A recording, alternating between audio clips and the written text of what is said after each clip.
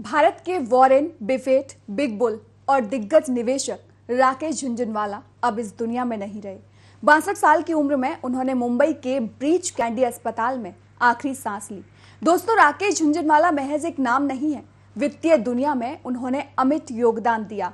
वह भारत की प्रगति के प्रति भावुक थे। देश के इतने बड़े निवेशक की सादगी देखने लायक थी। उन्हें तस्वीर में देखकर कोई नहीं कह सकता था कि वह भारत के इतने बड़े शेयर निवेशक थे। राकेश झुंझुनवाला जब पीएम मोदी से मिले, वो तस्वीर हम आपको अपनी स्क्रीन पर दिखा रहे हैं। आँखों पर चश्मा था और शर्ट मुड़ी हुई थी, जिसकी चर्चा बाद में खूब हुई थी। आपको बता दें कि झुंझुनवाला मिडिल क्लास परिवार से आते थे और जब उन्होंने अपना करियर शुरू किया, तब उनके पास मात्र पाँच हज़ार रुपए थे। शेयर मार्केट से पैसा बनाने के बाद बिग बुल एयरलाइन सेक्टर में भी उतर चुके थे।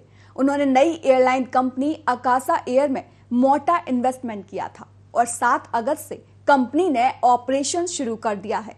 स्टॉक मार्केट में निवेश करने वाले झुंझुनवाला के पास आज हज़ारों करोड़ों रुपए की संपत्ति है। मज़ेदार है कि इतनी दौलत वाले इंसान का सफ़र महज पाँच हज़ार रुपए से शुरू हुआ था। आज उनकी नेटवर्थ करीब चालीस हज़ार करोड़ रुपए है।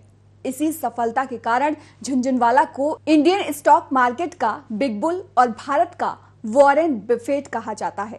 जब आम इन्वेस्टर्स शेयर बाज़ार में पैसे गवा रहे होते हैं, झुंझुनवाला उस समय भी कमाई करने में सफल रहते हैं। तो कैसे लगे आपको झुंझुनवाला की ये कहानी और कितने इंस्पायर हुए आप? हमें कमेंट करके ज़रूर बताएँ।